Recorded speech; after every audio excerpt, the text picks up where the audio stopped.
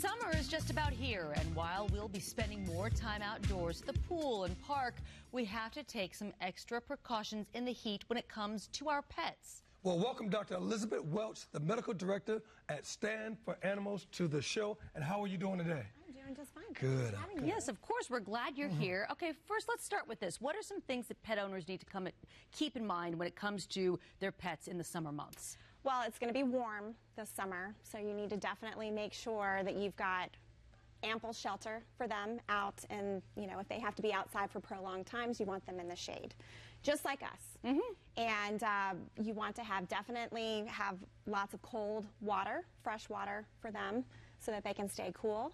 And um, and then also don't run them or walk them in the heat of the day so morning, early mornings or evenings are probably better for them because they're getting hot just like we are. Mm -hmm. You know, we, we we hear about this a lot, that animals die in cars and things of that nature. So why is it so important to make sure that you don't leave your pet in the car? What's the reason?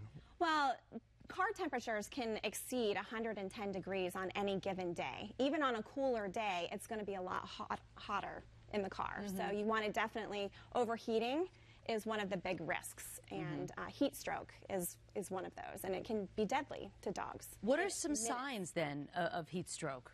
So excessive panting, mm-hmm. they can get lethargic. Uh, a lot of times they'll uh, they'll do some vomiting, um, passing out.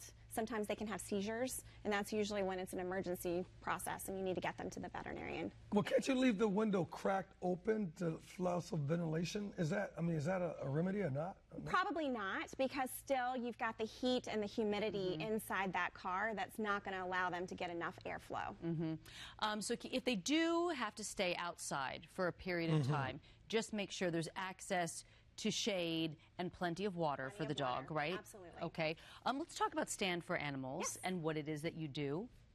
Okay, so we were formerly Spay Neuter Charlotte, mm -hmm. and we were Spay Neuter Charlotte for six years. We were doing predominantly spay neuters here in um, North Carolina, here in Charlotte. And basically, our mission is to prevent euthanasias in shelters and animals entering the shelter.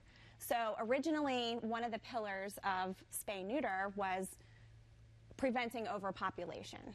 Now we're starting to see that the, another pillar of it is veterinary care, keeping animals healthy, keeping them in homes so that they don't enter the shelter. Mm -hmm. So we changed our name to Stand for Animals because it encompasses everything that we now currently do.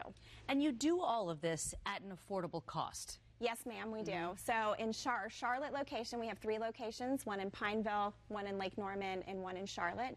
Our Charlotte location, five days a week, does affordable veterinary care. Mm -hmm. For somebody who is a new dog owner, has got three dogs, adopted those guys, uh, what about tick prevention? I'm experiencing a lot of ticks right now with these dogs. I just keep picking them off. Yes, so ticks and fleas are very important to treat against monthly because ticks and fleas like to live in nice, warm, damp areas and humidity. And South Carolina is actually one of the leading states that has heartworm disease. Mm. And heartworms are spread by mosquitoes. We have mosquitoes year round. Yes, we do. So we want to make sure that they're on a monthly prevention to prevent them from getting heartworms, mm -hmm. which are worms that live in their lungs and then migrate into their heart and can be deadly. Ticks, same thing. Ticks carry nasty diseases, Lyme disease, mm -hmm. um, and other diseases that can, you know, make your dog very sick. So you want to prevent that from happening as well with a monthly preventative. Mm -hmm.